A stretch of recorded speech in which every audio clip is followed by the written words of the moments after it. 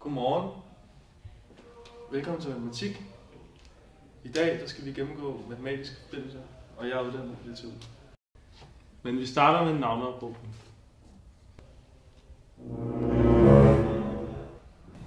André Dellervang. Nikolaj Christensen. Ja. Helene Esbensen. Ja.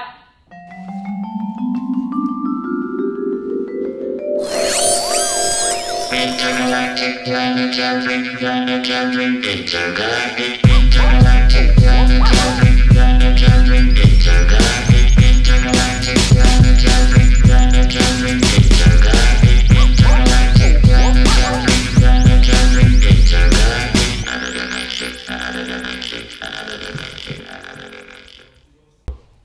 Hvad er funktionen af kvadratrådet 9,58 minus 3,5?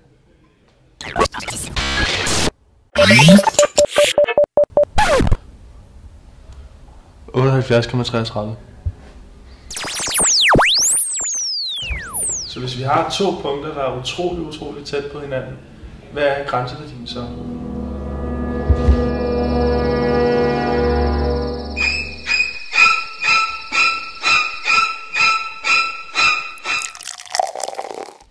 Kasper, hvad er meningen med livet?